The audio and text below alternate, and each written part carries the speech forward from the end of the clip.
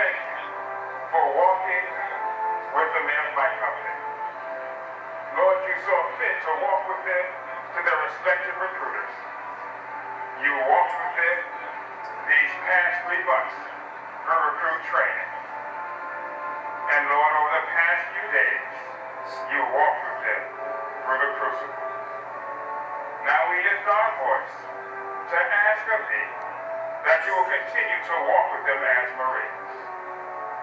As they serve you, their families, this great country, and our beloved Corps, walk with them from this day forward and forevermore.